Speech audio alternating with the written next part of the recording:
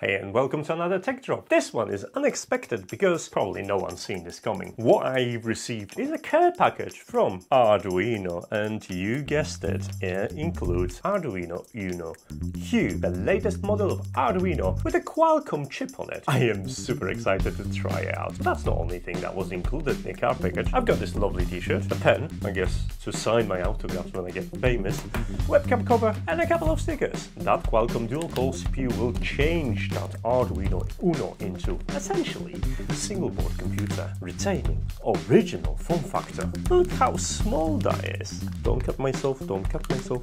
We still have STM32, we have a Qualcomm dual-core CPU, a Wi-Fi chip and a LED array. That's on top of all the I.O. that you would expect on Oh, there is new headers here as well. Hmm, I guess that's the subject for an entire separate video. So if you're looking forward to it, stick around.